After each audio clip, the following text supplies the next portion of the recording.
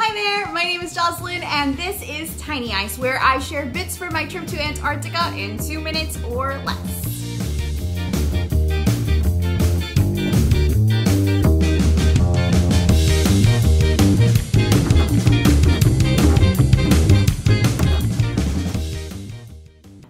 South Pole as a PolarTREC educator to learn about and work with the IceCube Laboratory. You can check out more information about them below. Today we're talking about US research stations on Antarctica.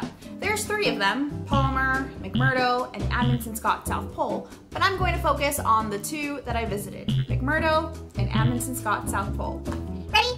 Let's go. First, the sunlight. I went to Antarctica during the summer season, which means the sun is up 24 hours a day.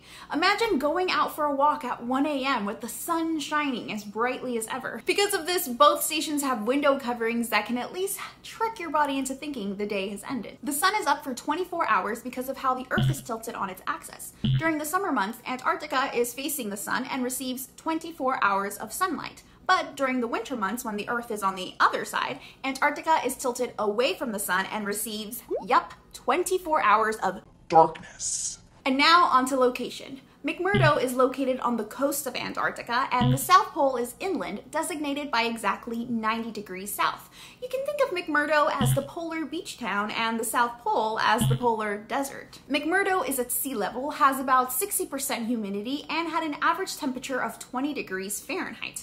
The South Pole is at an elevation of 9,301 feet, has close to 0% humidity, and had an average temperature of negative 25 degrees Fahrenheit, not including the wind chill, which made it even colder. Now let's move on to size. McMurdo houses around 900 people, and the buildings are arranged like a little town that you can walk around in.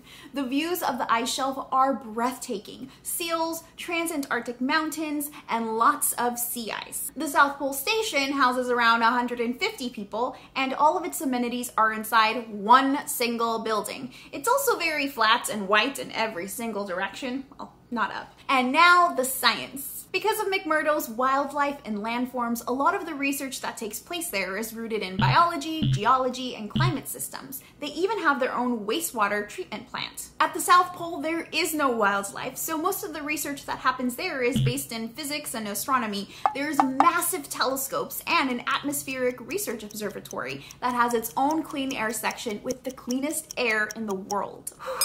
Both stations were awesome. While I was in McMurdo, I had a chance to go cross-country skiing for the first time. That was an adventure. I only fell once. I also was able to go on hikes that had some of the most incredible views I've ever seen. I'd still have to say that the South Pole's my favorite just because I spent the majority of my time there and it really feels like you're on an alien planet. Now I'm obsessed with following people that are stationed there throughout the winter because the photos that they post of the auroras are absolutely gorgeous.